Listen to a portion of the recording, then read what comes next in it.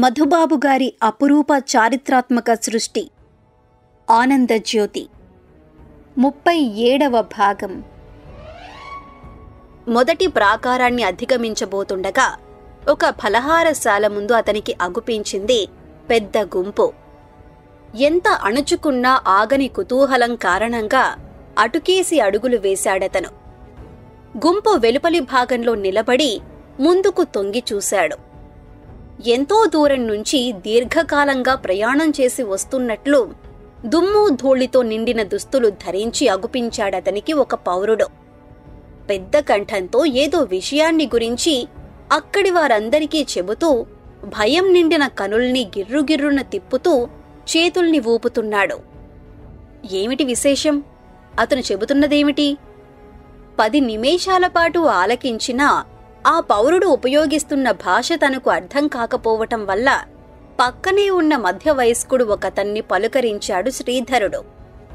దక్షిణ దేశంలో సంచరించటానికి వెళ్ళిన రామానుజాచార్యుల వారు తమ యాత్రను విరమించుకుని శ్రీరంగం వచ్చేస్తున్నారట.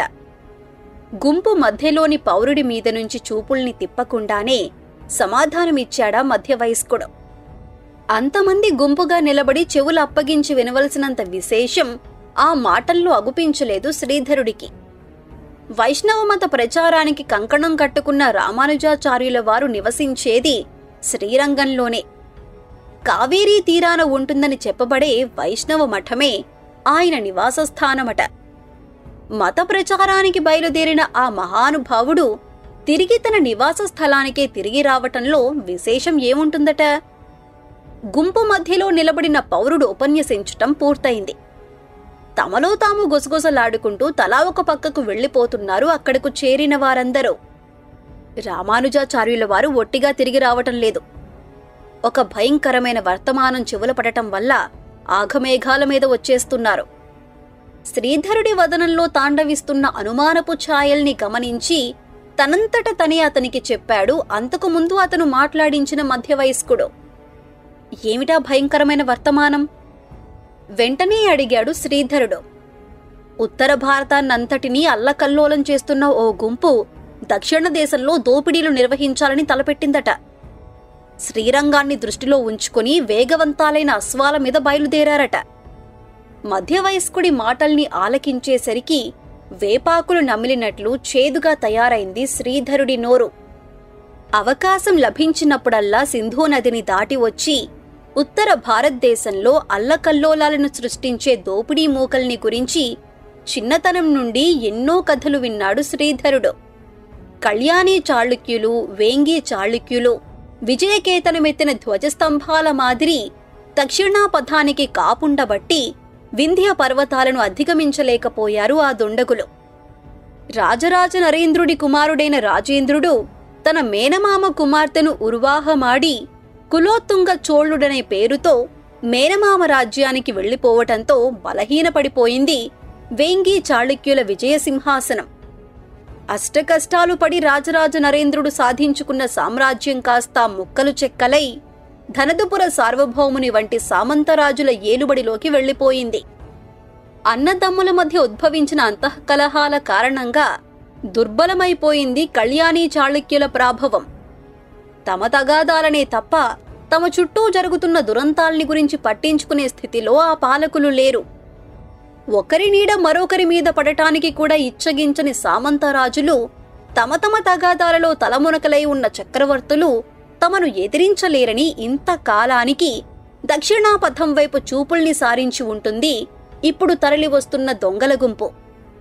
దోపిడీలు చేయటం అడ్డుపడిన వారిని దారుణంగా నరికి ముక్కలు ముక్కలు చేయటం ప్రజలందరిలోనూ విపరీతమైన భయాన్ని కలిగించటం మాత్రమే వారి దాడులలోని ముఖ్యమైన ఉద్దేశం. సామ్రాజ్య స్థాపన మాత్రం కాదు. వ్యక్తిగతమైన కక్షలకు కార్పణ్యాలకు పెద్దపీట వేసే సామంతులు రాజన్యులు మిడతల గుంపు వంటి ఆ దుర్మార్గుల్ని నిలువరించగలరా?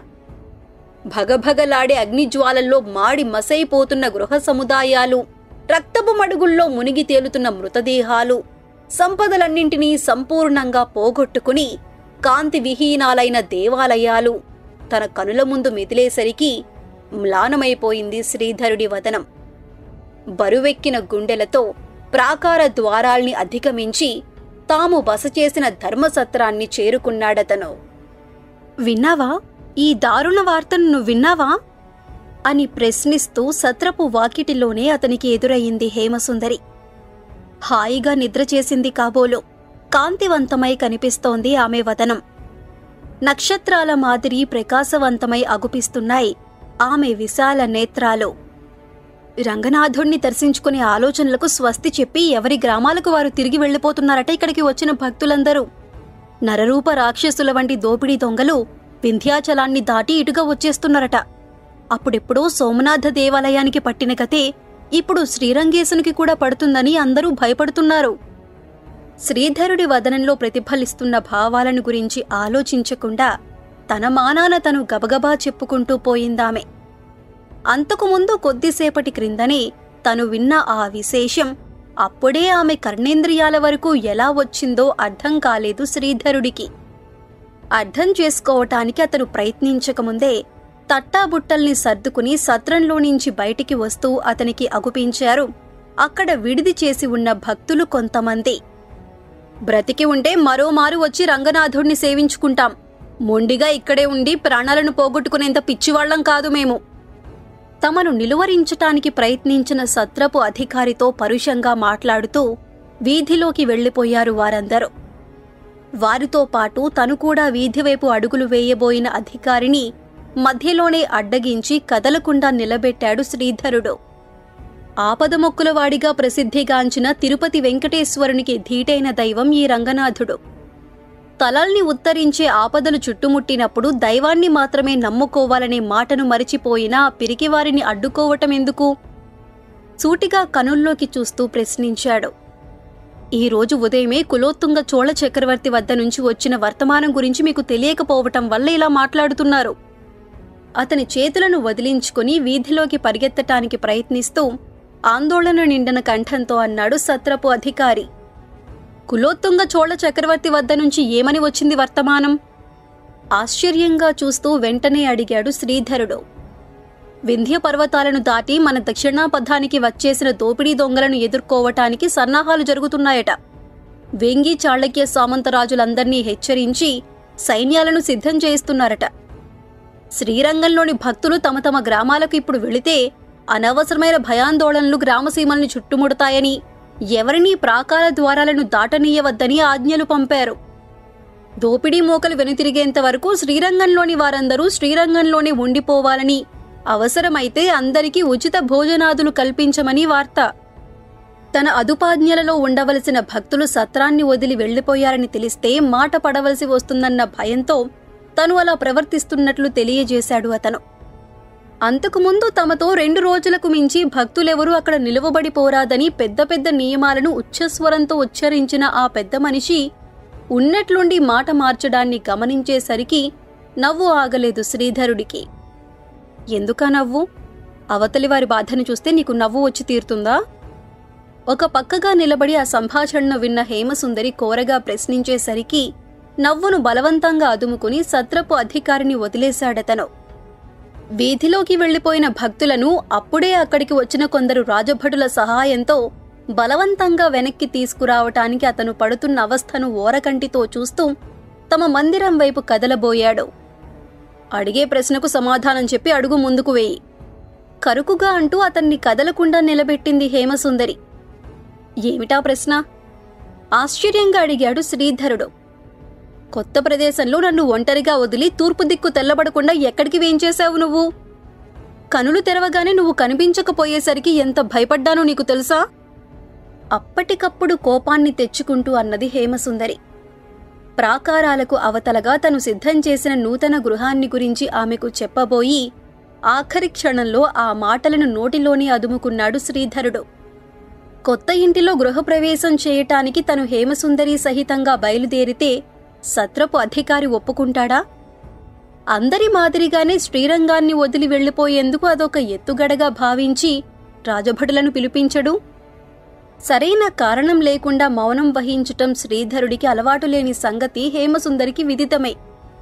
తను ఏదైనా విషయాన్ని గురించి కోపంగా మాట్లాడితే అరమూసిన కనులతో స్వచ్ఛంగా నవ్వే అతను అలా నవ్వకుండా నిలబడిపోయాడంటే అందుకు బలమైన కారణం ఏదో ఉండి ఉంటుందని ఆమె ప్రబల విశ్వాసం.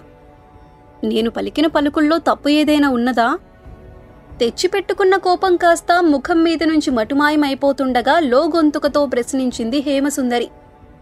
అప్పుడు కూడా అసలు విషయాన్ని ఆమె చెవిన వేయలేదు శ్రీధరుడు. ముంచుకు వస్తున్న ఆపద నుంచి తప్పించుకోవటానికి శ్రీరంగేశుని ప్రార్థన చేయకుండా శ్రీరంగాన్ని వదిలి వెళ్ళిపో చూస్తున్నారు భక్తులందరూ. నిర్మానుష్యంగా ఉండి ఉంటుంది ఆలయం.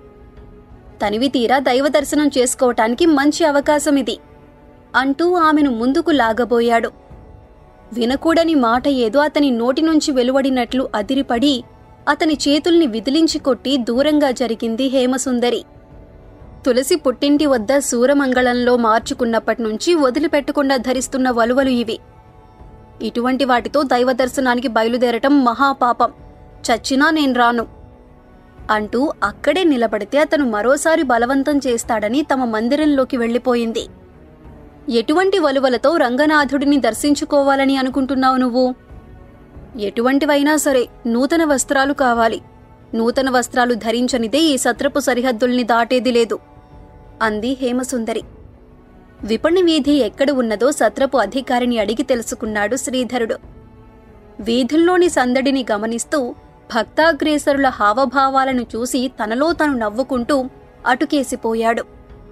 అంతకు ముందు రోజు రాత్రి రెండో జాము వరకు ఎంతో సంరంభంతో జరిగిన వ్యాపారాలన్నీ చెప్పబడిపోయేసరికి బిక్కముఖాలతో తమ దుకాణాల ఎదుట నిలుచుని ఉన్నారు యజమానులు. అందరి మాదిరిగా ఆరాటాన్ని ప్రదర్శించకుండా కులాసాగా వస్తున్న శ్రీధరుడిని ఆకర్షించటానికి ఎన్నెన్నో ప్రయత్నాలు చేశారు. వీధి మధ్య భాగంలో ఉన్న ఒక చక్కటి ప్రదేశాన్ని ఎంచుకుని లోపలికి వెళ్ళాడు శ్రీధరుడు. కంచిలో తయారైన పట్టు చీరలను చూపించమని దుకాణదారుని అర్థించాడు. కనులు మిరుమిట్లు గొలిపే పట్టు వస్త్రాలను తీసి అతని ఎదుట పరిచాడు దుకాణపు యజమాని. వీధుల్లో చెలరేగుతున్న భయోత్పాతాల కారణంగా మా వ్యాపారం మూలనపడింది. మీకు నచ్చిన వలువల్ని ఎంచుకోండి. సాధారణ విలువ కంటే కొంచెం తక్కువకే ఇస్తాను. అని ప్రోత్సహించాడు. మామిడి చిగురు రంగులో మిలమిలలాడిపోతున్న వలువను ఎంపిక చేసి దానికి జోడీ అయిన స్తనదుకూలాన్ని కూడా తీసి పక్కన పెట్టాడు. చేమంతి ఛాయగల వారికి కూడా చక్కగా ఉంటుంది మీరు ఎంచుకున్న వర్ణం. అవసరమైనప్పుడు ఎవరికైనా అరువు ఇవ్వటానికి కూడా ఉపయోగపడుతుంది. అమ్మగారి శరీర ఛాయ ఎటువంటిదో చెప్పండి. వారికి మాత్రమే నప్పే వర్ణాన్ని తీసి ఇస్తాను. అన్నాడు దుకాణపు యజమాని.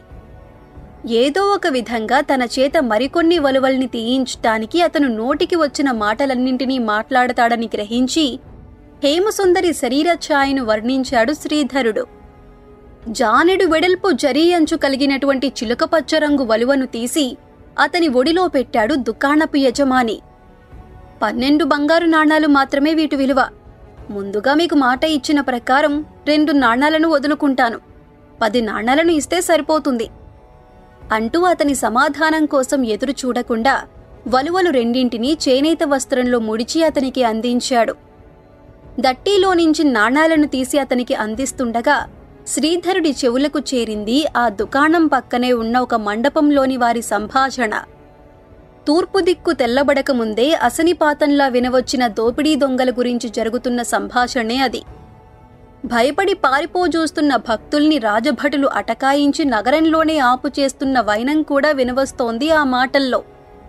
ఇళ్ళకు వెళ్ళిపోతామంటున్న భక్తుల్ని బలవంతంగా ఆపటం వల్ల కలిగే ప్రయోజనం ఏమిటో నాకు అంతుబట్టడం లేదు. ఉచిత భోజనాదులు ఏర్పాటు మూలకంగా రాచగాదెలు నిండుకోవడం తప్ప మరే విధమైన సౌకర్యము మన నగరానికి కలుగదు. తీవ్రమైన భయాందోళనలతో కంపించిపోతున్న వారు మన దుకాణాల దగ్గరికి రారు. కనీసం రంగనాథుడి ఎదుటికి కూడా పోరు. ప్రాణభయం వారి భక్తిని అణగద్రొక్కేస్తున్నది చికాకు నిండిన కంఠంతో చెబుతున్నాడు ఒక వ్యాపారస్థుడు. ఏం చేస్తే పరిస్థితి చక్కబడుతుందని నీ అభిప్రాయం? ప్రశ్నించాడు మరో వ్యాపారస్థుడు. దొంగల గుంపును గురించిన వార్తల్ని భక్తులకు చేరకుండా నిరోధించాలి. వారి ఆలోచనలు ప్రక్కదోవలు పట్టకుండా ఉత్సవాల సందడిని హెచ్చించాలి. ఆలయ ప్రాంగణంలో నృత్య ప్రదర్శనలు భజన కార్యక్రమాలు ఊపిరి సలపని విధంగా ఏర్పాటు చేయాలి. తాము విన్న మాటలు కట్టుకథలేమోనన్న అనుమానం వారిలో కలిగించి ఇక్కడే నిలిచిపోయేలా ఆకట్టుకోవాలి. నిర్మోహమాటంగా తెలియజేశాడా వ్యాపారస్తుడు తన మనసులోని మాటల్ని.